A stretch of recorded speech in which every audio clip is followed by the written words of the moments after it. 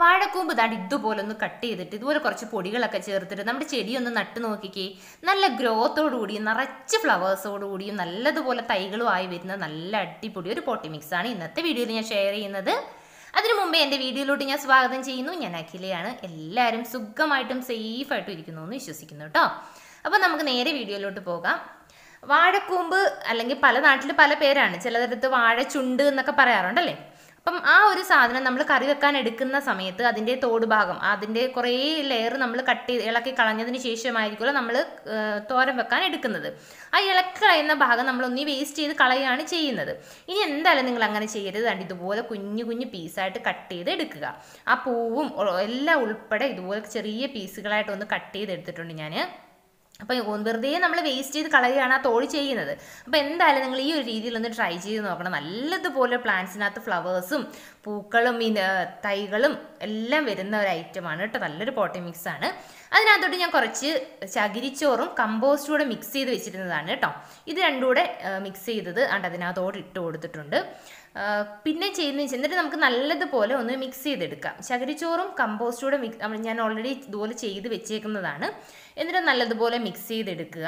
ഇത് നമുക്ക് ഒന്ന് രണ്ട് ദിവസം വേണമെങ്കിൽ ഒന്ന് മാറ്റി വെച്ചിട്ട് പോട്ട് ചെയ്യാം. ഞാനിപ്പം ഡയറക്റ്റ് അങ്ങനെ പോട്ട് ചെയ്യാണ് ചെയ്യുന്നത്.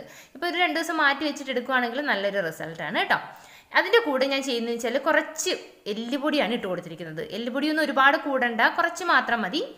അത് വേണമെങ്കിൽ നമുക്ക് ഈ സമയത്ത് ചാരം ഇട്ട് കൊടുക്കാം ചാണകപ്പൊടി ഇട്ട് കൊടുക്കാം എന്ത് വേണമെങ്കിലും ഇട്ട് കൊടുക്കാം. അപ്പോൾ ചാരവും ചാരവും നമ്മുടെ എന്താ പറയുന്നത് ചാണകപ്പൊടി അല്ലെങ്കിൽ എല്ലുപൊടിയൊക്കെ ഇട്ട് കൊടുക്കുമ്പോൾ നല്ലതുപോലെ നനച്ചു കൊടുക്കാൻ ശ്രമിക്കുക കേട്ടോ. ഈ വാഴയുടെ കൂമ്പെന്ന് പറഞ്ഞാൽ നല്ലതുപോലെ ഫ്ലവറിങ് ആകുകയും ചെയ്യും. നല്ലതുപോലെ തണുപ്പ് കിട്ടുന്ന ഒരു ഐറ്റമാണ് നമ്മുടെ പ്ലാന്റ്സിന് കേട്ടോ. നല്ലതുപോലെ തണുപ്പ് കിട്ടും. ഇത് ഈ ഒരു മിക്സ് നമുക്ക് മിക്സ് ചെയ്തിട്ട് രണ്ട് മൂന്ന് ദിവസം വേണം ഒന്ന് മാറ്റി വെച്ചിട്ട് നമുക്കിതൊന്ന് പോട്ട് ചെയ്യാം. അപ്പോഴത്തേക്കും നമ്മുടെ ആ ഒരു മിക്സ് എല്ലാം കൂടെ ഒന്ന് കുതിർന്ന് ഒന്ന് കുഴഞ്ഞു വരും ഒന്ന് അഴുകി വരും കേട്ടോ. അപ്പോഴത്തേക്കും നമുക്ക് പെട്ടെന്ന് റിസൾട്ട് കിട്ടും. ഇപ്പം ഞാൻ ഡയറക്റ്റ് അങ്ങനെ പോട്ട് ചെയ്യുകയാണ് ഒരു പോട്ട് എടുത്തിട്ട് അതിനകത്ത് അടിഭാഗത്ത് കുറച്ച് തൊണ്ടൊക്കെ വെച്ചിട്ട് ബാക്കി മുകൾ ഭാഗത്ത് ദാണ്ട് ഇതുപോലെ വാഴയുടെ കുറച്ച് വേസ്റ്റ് വന്ന സാധനങ്ങൾ ഞാൻ ജസ്റ്റ് ഒന്ന് ലെയർ ചെയ്ത് കൊടുക്കുകയാണ് കേട്ടോ.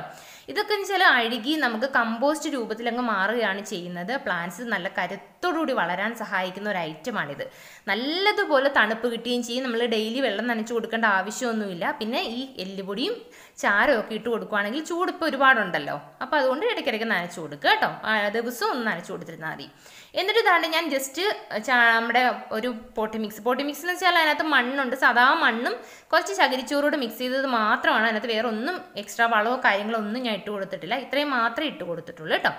എന്നിട്ട് അതിന്റെ മുകൾ ഭാഗത്ത് നമ്മൾ എടുത്ത് വെച്ചിരിക്കുന്ന ആ ഒരു കൂട്ട് ഇതുപോലെ ഒന്ന് ഇട്ട് കൊടുക്കുകയാണ് ഇത് ഞാൻ പറഞ്ഞത് ഇത് രണ്ട് ദിവസം മാറ്റി വെച്ചിട്ട് എടുക്കുമ്പോഴത്തേക്കും നമ്മുടെ ആ ഒരു വാഴയുടെ ആ ഒരു വാഴക്കൂമ്പിന്റെ ആ ഒരു ഇതെല്ലാം പുളയെല്ലാം ഒന്ന് അഴുകിയിട്ട് വരും. അഴുകി വരുമ്പോഴത്തേക്കും അത് നമുക്ക് പെട്ടെന്ന് നമുക്ക് അത് കമ്പോസ്റ്റ് ആയിട്ട് മാറി പ്ലാന്റിന് നല്ലൊരു റിസൾട്ടാണ് കിട്ടുന്നത്.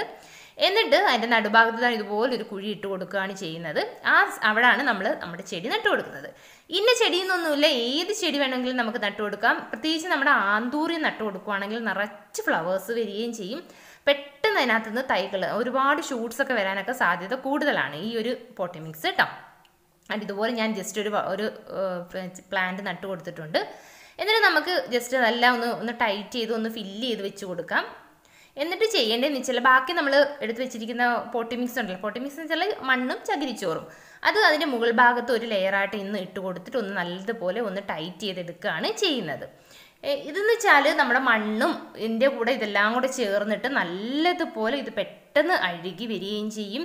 ഞാൻ പറഞ്ഞല്ലോ വാഴക്കൂമ്പിന് നല്ലതുപോലെ തണുപ്പായത് കാരണം പെട്ടെന്ന് നമുക്ക് നല്ലൊരു കമ്പോസ്റ്റ് ആയിട്ട് വരും. കമ്പോസ്റ്റ് നമ്മുടെ പ്ലാന്റ്സിന് നല്ലതുപോലെ ഗ്രോത്തിൽ വളരാനും അതുപോലെ തന്നെ തൈകളാവാനും ഫ്ലവേഴ്സ് ആവാനും ഒക്കെ സഹായിക്കുന്ന ഒരു ഐറ്റമാണ് ഇതുപോലെ തന്നെ നമുക്ക് നമ്മുടെ പച്ചമുളക് തക്കാളി ഒക്കെ നടാൻ പറ്റും കേട്ടോ. ഇനി എന്തായാലും നിങ്ങൾ നമ്മൾ വാഴ തണ്ടെടുക്കും വാഴയുടെ കൂമ്പെടുക്കുന്ന സമയത്ത് ആ ഒരു ഇളക്കി കളയുന്ന ഭാഗം വെറുതെ കളയാതെ ഇതുപോലെ ഒന്ന് ചെടി നട്ട് നോക്കിക്കേ. നല്ലതുപോലെ നല്ല ഗ്രോത്തിലും നല്ലതുപോലെ വരും കേട്ടോ. ഏത് പ്ലാന്റ് ഒന്നുമില്ല ഇൻഡോറിൽ നിൽക്കുന്ന ആയാലും പുറത്ത് നിൽക്കുന്ന ആയാലും നല്ലതുപോലെ ഫ്ലവേഴ്സ് വരുന്ന പ്ലാന്റ് ആയാലും ഏത് പ്ലാന്റ് ആയാലും ഇതുപോലെ നടുവാണെങ്കിൽ നല്ലൊരു റിസൾട്ടാണ് അപ്പം നിങ്ങൾ എന്തായാലും ഒന്ന് ട്രൈ ചെയ്ത് നോക്കിയിട്ട് ഫീഡ്ബാക്ക് പറയാൻ മറക്കരുത്. കൂടാതെ ചാനൽ സബ്സ്ക്രൈബ് ചെയ്യാത്തവരുണ്ടെങ്കിൽ ഒന്ന് സബ്സ്ക്രൈബ് ചെയ്യാനും മറക്കരുത് കേട്ടോ. പിന്നെ ഞാൻ പറഞ്ഞത് കൂട്ടി ചാരവും നമ്മൾ എല്ലുപൊടി ഇട്ട് കൊടുക്കുമ്പോൾ നല്ലതുപോലെ നനച്ചു കൊടുക്കണം. എപ്പോഴെങ്കിലും ഒരു പ്രാവശ്യം ഒന്ന് നനച്ചിരുന്നാൽ മതി കാരണം നല്ല ചൂട് സമയമാണ്. അപ്പോൾ എപ്പോഴെങ്കിലും ഒരു പ്രാവശ്യം ഒന്ന് നനച്ചു കൊടുക്കണം. ഒരുപാട് വെള്ളം കൊടുക്കേണ്ട കുറച്ചായിട്ടൊന്ന് കൊടുത്തിരുന്നു